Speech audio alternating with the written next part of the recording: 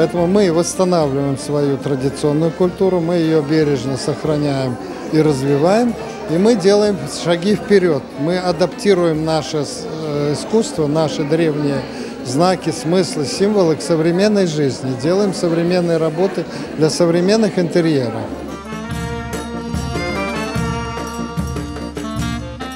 Это сураиль, традиционная форма. Эта форма традиционная называется гугум.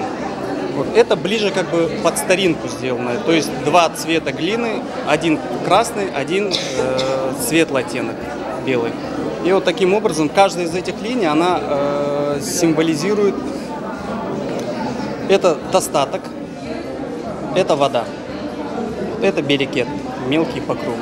Сегодня я выставляю свою коллекцию крымского эм, заман. Это коллекция в стиле не- неофольк.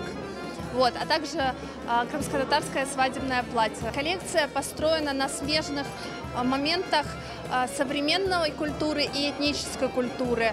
Э, основное, что их объединяет, это геометрический крой, функциональность.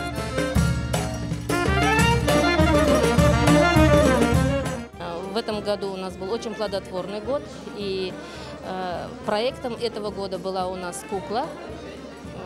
Перед вами она. Э, мы ее назвали Арзахас. Посредством итога этой работы мы хотели показать именно классику нашего национального костюма, показать красоту нашего костюма.